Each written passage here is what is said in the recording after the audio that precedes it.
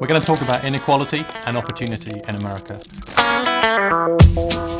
If you don't complete high school, there's a 50% chance you're going to stay stuck at the bottom. Now, in this group, we include the richest 1% of the population. Their average income is over $2 million a year.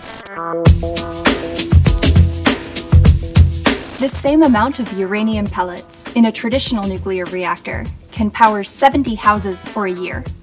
The same amount of uranium pellets in an advanced reactor can power 800 houses for a year. The impact of climate change is going to play itself out in the water arena.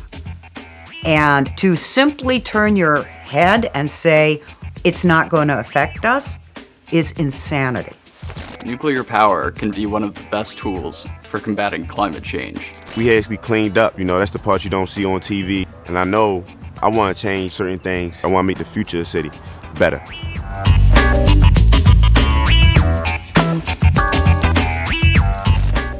Go to college.